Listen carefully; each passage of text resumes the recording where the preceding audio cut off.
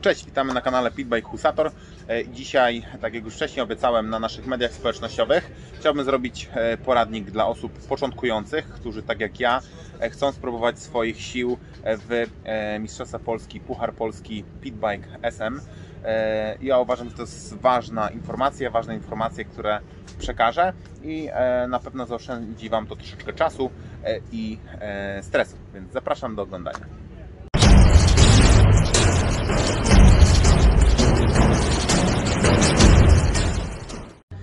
Każdy się zastanawia, od czego zacząć. Nie jest to takie straszne, e, jak się e, wydaje. E, Na pewno będziecie musieli poszukać w swojej okolicy jakiś klub, stowarzyszenie.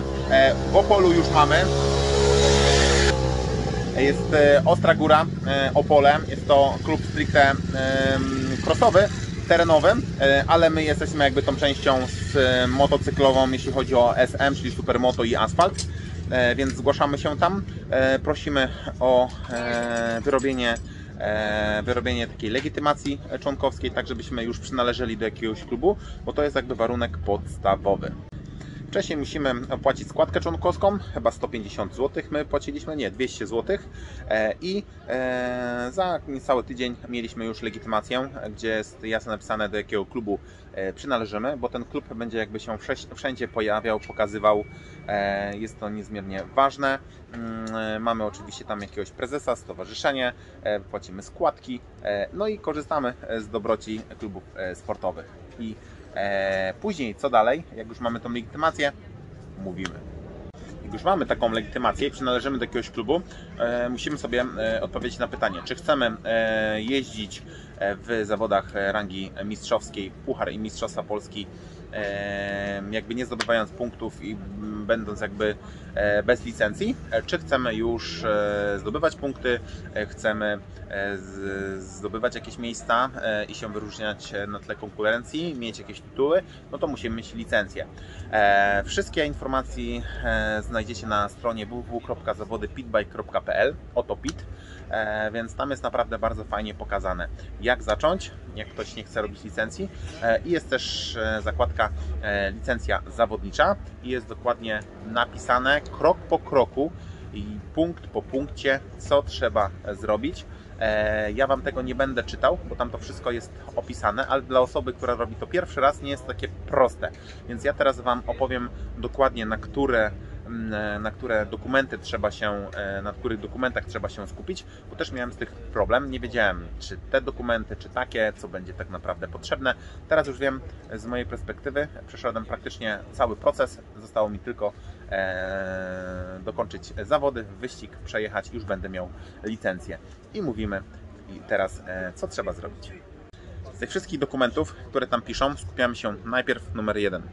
Od e, książeczki zdrowia sportów motorowych e, uzyskaje, uzysku, uzyskacie je u swojego e, prezesa klubu. Poprosicie albo w PZMocie, można wydrukować również ze strony PZMot na żółtym papierze i z tym udajemy się do lekarza medycyny sportowej, wcześniej robiąc niezbędne badania, jakim jest morfologia, glukoza, EKG. Z tymi badaniami umawiamy się na wizytę i lecimy do e, doktora, który za 10 minut weźmie stuwanca, stu, 100 zł, e, ale to jest niezbędne. Drugim dokumentem, którego będziecie mieć, e, musieli mieć przy, u, u lekarza, e, to jest, em, to jest wniosek o przyznanie licencji. Jest to taki dokument, już pokazuję. Zobaczcie. Może obrócę kamerkę. Jest to wniosek o przyznanie licencji. Robimy sobie oczywiście tak, dane nasze są niezbędne. Jest niezbędny tutaj pieczęć i podpis o przynależności do klubu. Pamiętajcie o tym, ja zapomniałem tego dać do le- lekarzowi, żeby mi tutaj również podpisał. Będę musiał się do niego wrócić, jak wróci z urlopu, e, bo bez tego nie przejdzie to e, licencji. Drugim dokumentem, którego musicie sobie tam e, zgodnie z e, podanymi krokami przez organizatora wydrukować e, dokument dane osobowe e, zawodnika. E, uzupełniacie wszystkie dane. Jedno zdjęcie dajecie tu, drugie zdjęcie dajecie do e, karty zdrowia. I bardzo ważne, musicie sobie te zdjęcia wcześniej zrobić. E, tak naprawdę podpisanie i zaparowanie i ten dokument już mamy załatwiony. Dodatkowo jak przyjedziemy i będziemy się rejestrować, będziemy musieli mieć jeszcze druk, tego też nie wiedziałem, to już Wy będziecie mieli to z grzywy. E, do, dokument zgłoszenie na egzamin na licencję do uprawiania dyscypliny sport motocyklowy. Do pobrania również jest na stronie PZM e, i oczywiście wpisujemy dane. E, jak jest osoba nieletnia, tutaj mamy też miejsce, żeby to prowadzić i również mamy zaświadczenie lekarskie, więc ten dokument wcześniej musi być wydrukowany i razem z tym pierwszym dokumentem, razem e, łącznie z książeczką zdrowia do lekarza i na tych trzech dokumentach, czyli książeczka zdrowia, e, oświadczenie e, o wydanie licencji, również o egzaminie, musi być pieczęć pana doktora, więc pamiętajcie o tym. Jak już mamy wszystkie dokumenty przygotowane, musimy sobie też naszykować pieniążki w gotówce, więc tak, 300 zł wpisowe, 50 zł egzamin teoretyczny, 20 zł e, kostka, więc mamy 370. Jak chcemy zapłacić to w dniu zawodów, tak jak ja, to płacicie 30 zł więcej, czyli 400 zł minimum trzeba mieć e, jedzonko i żadna złotówka Wam już nie będzie schodziła z e, kieszeni. To też są bardzo ważne informacje, ile trzeba mieć przygotowanych pieniążków ze sobą. Jak już mamy wszystko e, przygotowane, e, wsiadamy w auto, przyjeżdżamy. Ja akurat miałem rundę rozgrzewkową, gdzie można było zdać e, egzamin i teoretyczny, i praktyczny, o którym zaraz powiem. Trzeba śledzić wszystko na fanpage'u Mistrzostwa Polski Bitbike. Tam wszystko jest na bieżąco podawane, więc udajemy się, tak jak tutaj, do Bydgoszczy. E, przyjeżdżamy, e, rozstawiamy się, sprawdzamy na harmonogramie, to też jest wszystko wcześniej podawane, na którą mamy być, na którą mamy się zarejestrować, jakie dokumenty mamy dać, już wcześniej e, powiedziałem. Opłacamy, bierzemy kostkę i teraz pozostaje cała masa czynności, które trzeba wykonać i myślę, że też będzie bardzo ciekawe, jak to przygotować sobie wcześniej, żeby nie tracić niepotrzebnie czasu. Jak ktoś tak jak ja chce przyjechać tylko na jeden dzień, żeby mm, nie tracił nie, nie, niepotrzebnie czasu e, i e, wyjechał od razu na jakiś trening, bo w dniu zawodów tych treningów jest znacznie mniej, o czym powiem później. Już przyjedziemy, pokażę Wam, co warto mieć ze sobą, żeby nie było przypałów, bo na przykład za brak maty środowiskowej grozi 300 zł. Tak wygląda nasze sta stanowisko. Jak widzicie, jest o wiele mniej e, rzeczy niż e, jak jedziemy na tor duży. E, no i teraz na co zwrócimy uwagę? Jakiś namiocik trzeba sobie na pewno wziąć ze sobą. Musimy mieć kombinezon, musimy mieć slidery, musimy mieć ochraniacz, musimy mieć, mm, musimy mieć kask, którego warto trzymać na sobie wiatraczku rękawice, no i kask dodam, że musi mieć homologację, bo oni to też spisują na odprawie technicznej, o której e, powiem. Warto, żeby sobie wziąć krzesełko, żeby sobie wziąć jakiś stolik, dużo jedzenia, jakieś owoce, jakieś fajne rzeczy energetyczne. Dodatkowo mamy pitbike oczywiście, musimy wcześniej na rejestracji e, wykupić i dostajemy kostkę, montujemy ją na pitbike w ten sposób. Tutaj też zobaczyłem jak inni to robią, czyli jeden tretytka z tej strony, druga z tej strony i dwa, tak żeby tego nie zasłaniać i nie było przy e, metalu. Stawiamy go na dwa podnośniki, jeden i drugi. E, oczywiście on jest wyposażony w wszystkie możliwe slidery mm, Piotero, bo on musi być przygotowany również do odprawy technicznej, e, o której teraz będę mówił.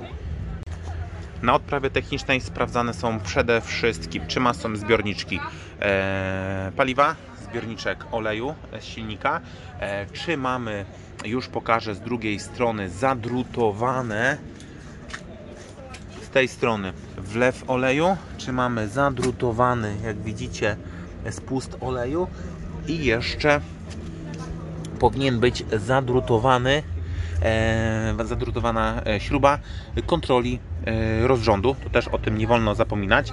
Musi mieć przede wszystkim slidery podnóżek, e, osi w przód i tył, jak również handbary, slidery handbarów tutaj z tej strony. Na co jeszcze zwracamy uwagę? Opony muszą być zgodnie z regulaminem albo CST, albo Team Sumy. Ja wybrał, wybraliśmy CSTK. Koce grzewcze e, jakby nie są wymagane przy odprawie, ale uważam, że bardzo fajnie mieć te koce, e, żeby nie tracić niepotrzebnie czasu i żeby było to o wiele bezpieczniejsze, bo te opony wymagają odpowiedniej temperatury, dwóch, trzech kółeczek w dobrym tempie, dopiero wtedy się e, wtedy się Podać jeszcze tą kiełbasę? e, fajnie trzymają drogi.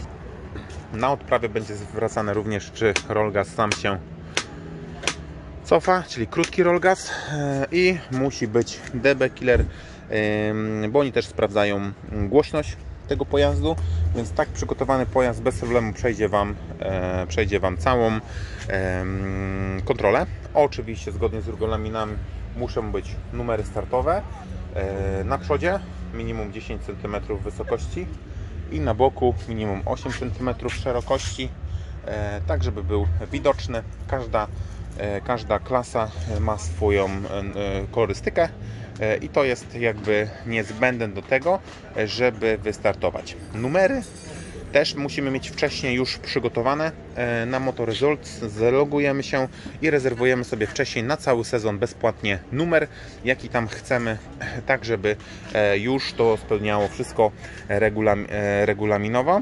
Dodatkowo musimy wydrukować sami sobie te numery. Ważne, żeby były widoczne i bez problemu przejdziemy odprawę techniczną. To, co widzicie, widzicie na dole, to jest mata środowiskowa.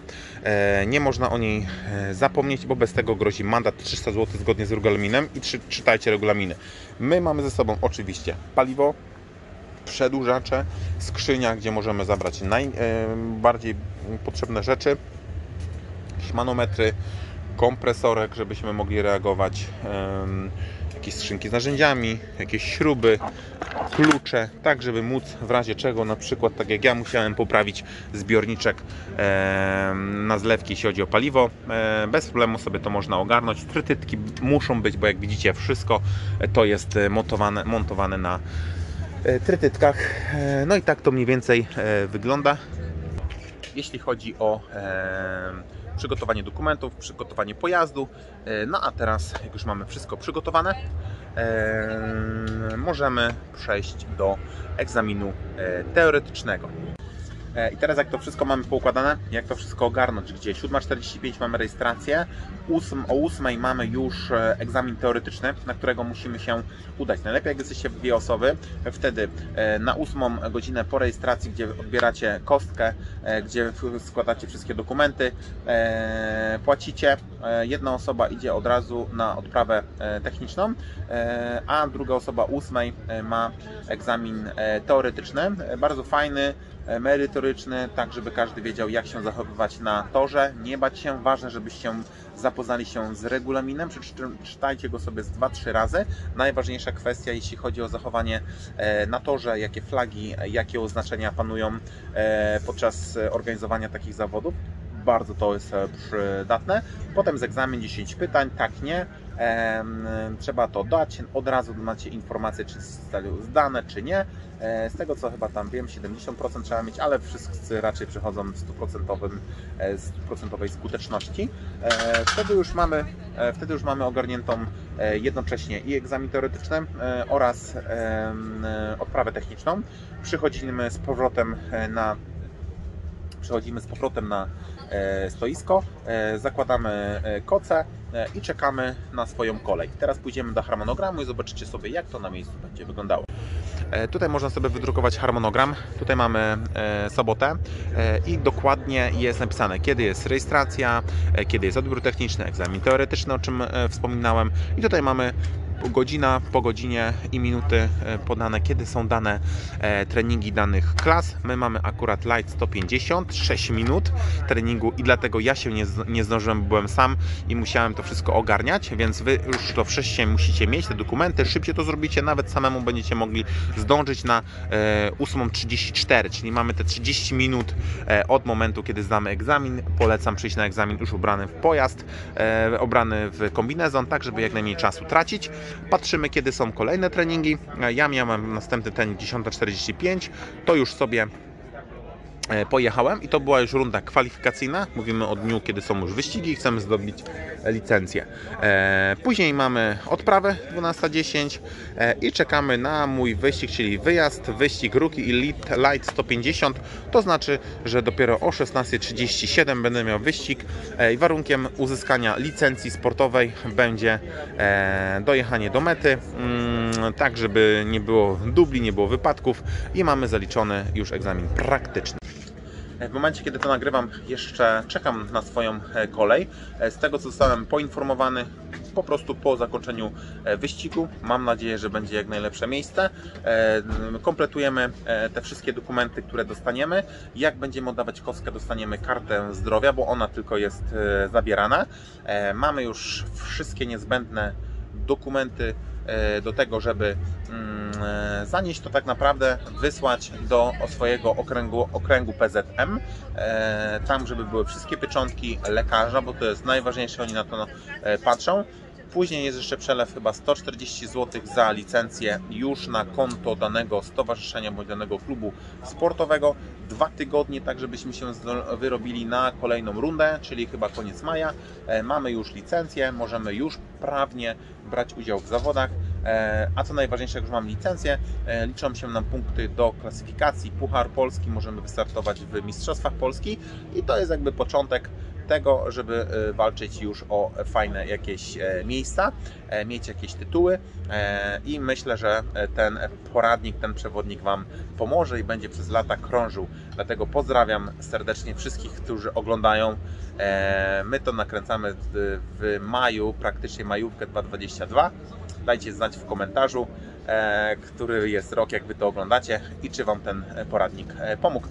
Oczywiście w opisie macie spis treści. Postaram się dokładnie co do sekundy Wam wskazać, w jakich minutach e, rozmawialiśmy o danym e, aspekcie, tak żeby Wam łatwo było to krok po kroku i dodam, że one będą chronologiczne, poukładane od czego zaczynamy, co jest podczas, e, jak przyjedziemy na dzień zawodów e, i dzień zdawania egzaminu i licencji. I co jest na koniec, będzie krok po kroku wypisane, możecie sobie zawsze wrócić, w razie czego możecie dzwonić, pisać, e, numer i e, mail jest w opisie. To co, do zobaczenia, trzymajcie kciuki, dam znać w komentarzu do tego filmu, e, które miejsce się zajęło w wyścigu.